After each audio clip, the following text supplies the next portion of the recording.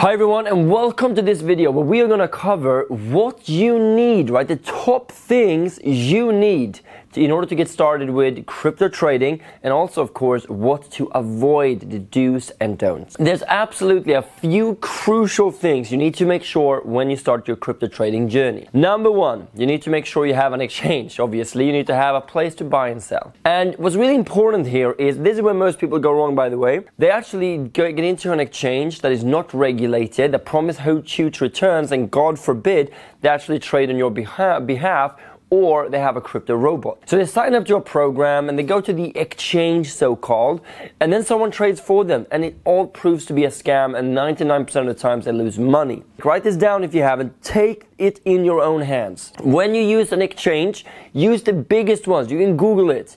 But to give you some examples, we're using Coinbase, we're using Binance, Huobi, KuCoin, Bittrex, FTX is another one. But if there are some that are not regulated, they could be calling, they could call, you know, Forex FX or I don't know, right? I don't want to mention any names because I, I don't want to put any anything in it. But always make sure you Google, for example, the name Coinbase. Is it a scam? And also make sure they're regulated. At least it is the biggest one on the planet, which is the case with Coinbase, which is the case with Binance. So go with the biggest ones. The second thing you need is to have education. So more, much like you, if you're gonna drive yeah, you can buy a car, right? You can get an exchange. You can buy a car.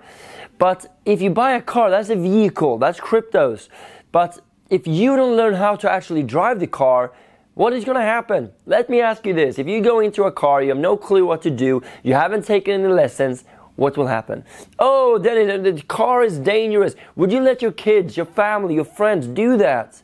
If you knew they couldn't drive? The answer is probably no. And we usually ask this question as well. Would you, would you let someone operate on your child or anyone that is close to you without being a doctor. Yeah, you know, I would absolutely do that. No, absolutely not, right? You want to make sure they have experience. They've done this before. You want to make sure they have the education to be able to give you what you need. If that is treatment, if that is learning how to drive like a driver's license, you want to know they know what they're talking about.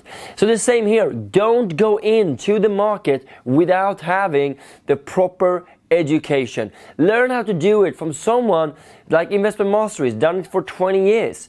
I think we've been educating for, for 16 years or so. I can tell you this, before I had education, lost 70% of my account.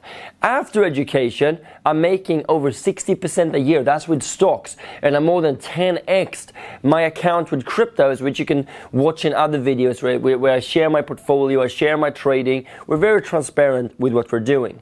So make sure you look at that. But overall, even though you're going with investment mastery or not, make sure you get an education and know what you're doing before you're doing it. Number three, make sure you use a strategy. And there's two steps to this because when you have a strategy that tells you when to buy, how much money you should be risking and allocating, when to sell with a profit, when to sell with a loss.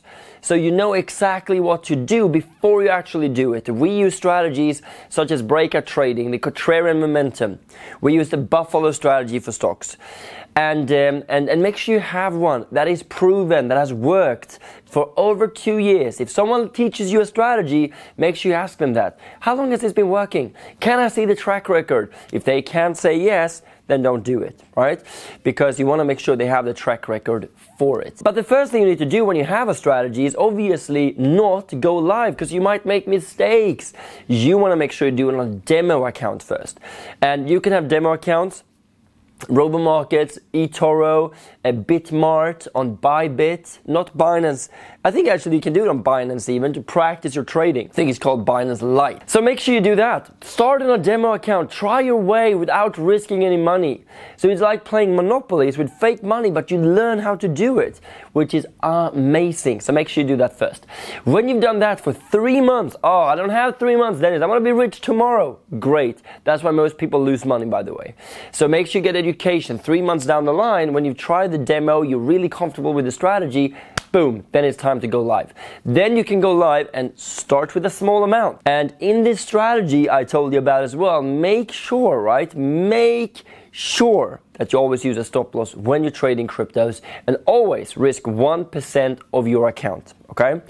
So Make sure you have the strategy, demo, three months later, live, right? That's what we would do. There's no advice here. That's what I would do. You do you. Do you but uh, th- those are some learnings that I had along the way that I would love to be able to pass on to you as well. And then the next one and the last one I want to mention because that's how important it is, is to make sure that you manage your risk. And to not use leverage in the beginning. Those two.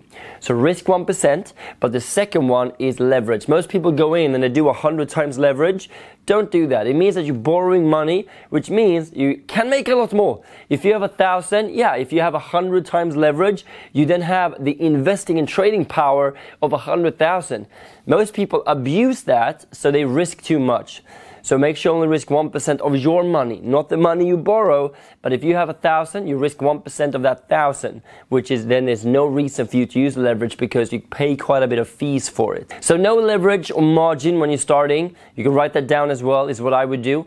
But then as you learn how to do this, you learn how to manage your risk, then you can add it to really accelerate the growth of your portfolio. But investing and trading with cryptos is nothing you do overnight. I've been doing this for six years now and uh, I'm to do this for the rest of my life. But since I, the first two years where I lost 70%, I tried to rush it. I tried to make sure I made as much as possible overnight. Really works. So build wealth over time and cash flow over times, which you can speed up by getting an education as well, which is exactly what I did. So I hope you enjoyed this video and comment below are you trading today and do you have an education? I would love to know. So make sure you comment that below. And if you enjoy this kind of content, make sure you subscribe to the channel. I cannot wait to share more with you in regards of this as well. And not only that, make sure you like the video. Give me a like if you enjoy this content and also press that alarm bell so you get those notifications. And with that being said, I cannot wait to see you in the next video.